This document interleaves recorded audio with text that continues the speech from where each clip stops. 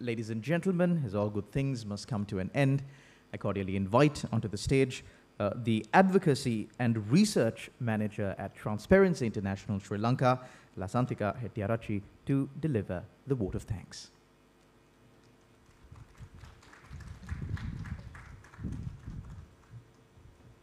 Thank you, Charlene.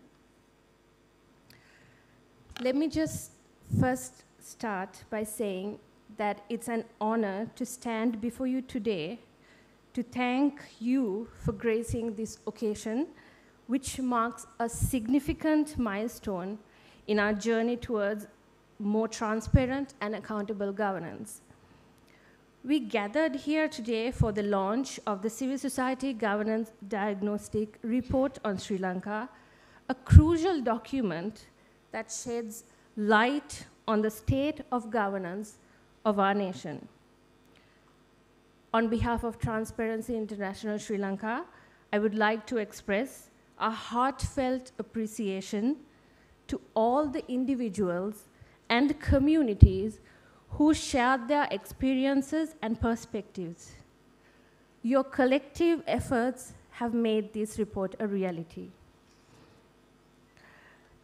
Making this launch possible today is a, is a testament to the dedication of our researcher, none other than Professor Arjuna Parakrama, the Transparency International Sri Lanka team, Dr. Nishan de Mel and Verite Research Team, and of course, the core group and their organizations,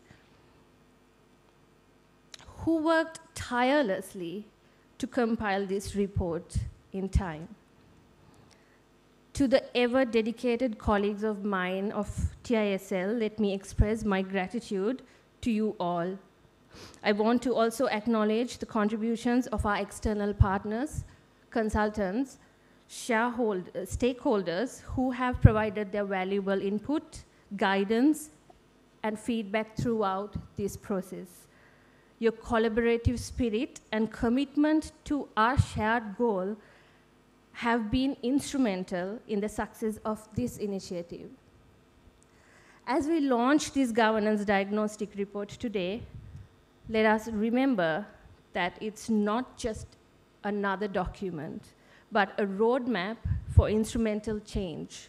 It contains insights and recommendations that are actionable and will guide us towards a more transparent, accountable, and efficient governance framework.